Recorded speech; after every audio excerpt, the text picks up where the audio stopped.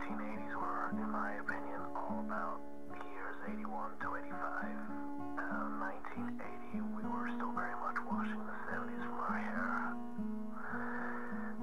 81, uh, yeah, just things, it was, it was bigger, it was, uh, things, things were just happening so fast compared to, you know, the 70s had, had, had its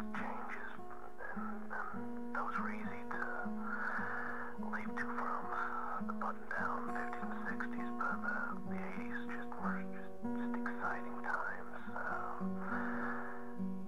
81 or 85, like I said, those those were the years. Uh, it's it, you know it's uh, it's hard hard to, to fully convey.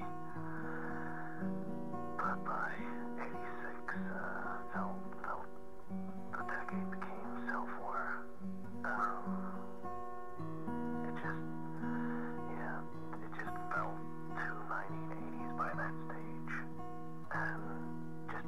12 by 87.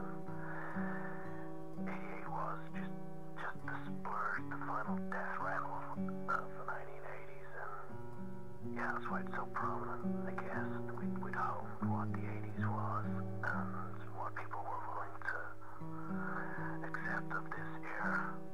Um, 89, obviously, it was, the 90s came early. Um, everyone was in such a rush to...